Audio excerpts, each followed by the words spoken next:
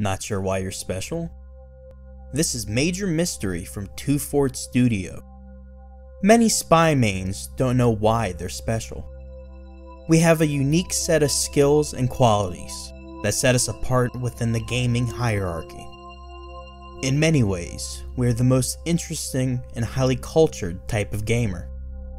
Mysterious, intelligent, unshowered, pale, and addicted to anime. Listen to these affirmations to discover your strengths, understand your mysterious smells, and dominate snipers. Let's begin. I am a lone wolf. I decide the rules of my upward and Hightower matches. I kill the heavy, but die before I can get his medic. It's okay, because my team will kill him for me. I am a lone, dangerous mercenary. I can walk across a battlefield full of packs of pyros without a moment of doubt or hesitation. I own five body pillows, and only three of them have pictures of anime characters.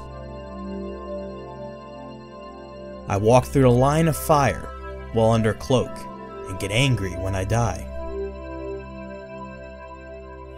I have no medic, and I panic when there is no health pack. Never call me a weeb. I prefer the term otaku. I never push the payload. My entire diet consists of dino nuggies, energy drinks, and boxed mac and cheese. I decloak within earshot of my target and die because they have ears. When I enter a room of strangers, people stop and think, Who is that greasy man? And why is his shirt stained? My death after failing a stair stab is the exact thing my team needs to win. It is always my team's fault when I die. My sock drawer is an entire ecosystem.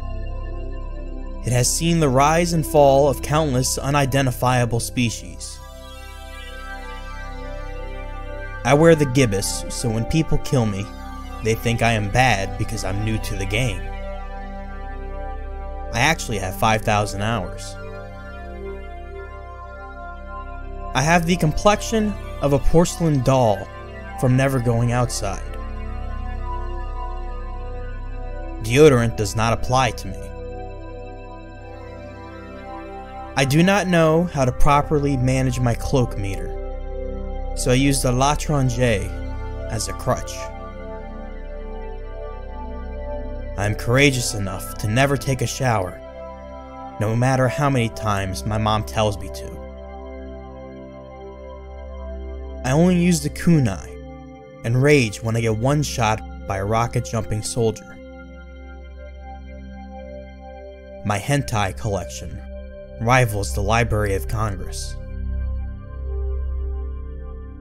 My bedroom is stacked from floor to ceiling with Funko Pops and empty pizza boxes. If I need to swap to another class, I am more than capable of doing so. I just choose not to. Even a single sip of water will kill me. Women are incapable of understanding my dark, mysterious nature. They tell me I have something called halitosis, whatever that means. My sapper has magical capabilities and creates a deep bond with an engineer's sentry. I maintain a massively high Steam inventory value.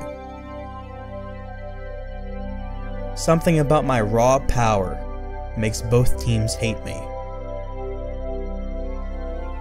I am not a Reddit moderator. but my opinion is highly respected, and over 500 people have been banned after I reported them. I decide to follow my scout in spite of knowing he will draw enemy fire in my direction. If you shine a black light in my bedroom, it would light up like the Andromeda Galaxy.